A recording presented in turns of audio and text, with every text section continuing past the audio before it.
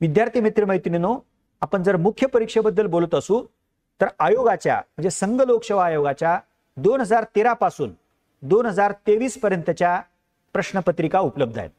एका बाजूला G S आणि एस ए आणि दुसऱ्या बाजूला तुमचा वैकल्पिक विषय जर निवडला असेल तर तो.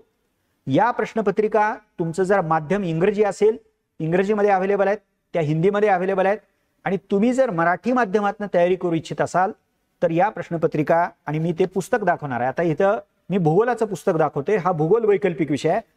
समाजशास्त्र राज्यशास्त्र लोकप्रशासन त्यानंतर अर्थात भूगोल इतिहास अँथ्रोपॉलॉजी हे जे काही सहा ते सात महत्त्वाचे विषय आहेत तर त्याच्या दोन हजार तेरा पासून तेवीस पर्यंतच्या प्रश्नपत्रिका मूळ इंग्रजीमध्ये आपण ठेवलेले आहेत. आणि मराठी माध्यमातल्या विद्यार्थ्यांसाठी मराठीमध्ये त्याचा अनुवाद केलेला आहे. हे वैकल्पिक विषयाच्या जुन्या प्रश्नपत्रिका आहेत. नंबर दोन सामान्य अध्ययन इन एसे युनिक पब्लिकेशननं जाणीवपूर्वक मराठी मीडियममधल्या विद्यार्थ्यांना सोयीचं जावं. त्यासाठी दोन हजार तेरा ते तेवीस G S one two three four असे सामान्य अध्ययनाचे चार पेपर्स आणि शिवाय एस एचा पाचवा पेपर आपण सोयीसाठी त्याला पाचवा पेपर असं मानतोय. तेरा ते तेवीस या कालखंडातल्या म्हणजे अकरा वर्षाच्या जुन्या प्रश्नपत्रिका ज्याला शॉर्ट फॉर्म वापरला तर पी वाय क्यूज युनिक पब्लिकेशननं मराठीमध्ये अनुवादित केलेले आहेत. पण आम्ही केले काय? इंग्रजीमधला मूळ प्रश्न ठेवलाय आणि त्याच्याखाली त्या इंग्रजी प्रश्नाचा मराठीमध्ये अनुवाद दिलेला आहे.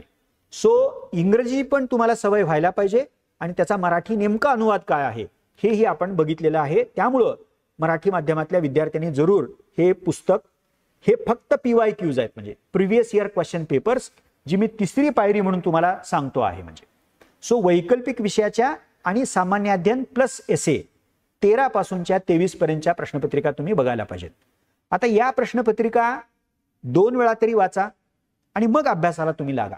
अभ्यासक्रम बघितल्यावरती जसं मला प्रत्येक पेपरमध्ये त्यातल्या विषयांमध्ये काय साधारण अभ्यासायचा आहे कशा कशाचा अभ्यास मला करायचा आहे याचा जसा अंदाज येईल तसंच त्या विषयावरच्या प्रश्नपत्रिका तुम्ही जर तेरा ते तेवीस या काळातल्या बघितल्या तर तुम्हाला काय प्रकारचे प्रश्न विचारले गेलेत? त्याच्यातनं संबंधित विषय आपल्याला नेमक्या कोणत्या पद्धतीने अभ्यासावा लागेल? किती तपशीलवार अभ्यास करावा लागेल? किती डिटेल अभ्यास करावा लागेल? किती खोल आपल्याला जावं लागेल? कशा कशा प्रकारच्या बाबींचा अभ्यास? त्याच्यामध्ये संकल्पना असतील काही फॅक्च्युअल बाबी असतील काही डेटा असेल आणि महत्वाची म्हणजे अगदी तुम्हाला असं जी माहिती असते की या वर्षीच घटना घडलेली आहे.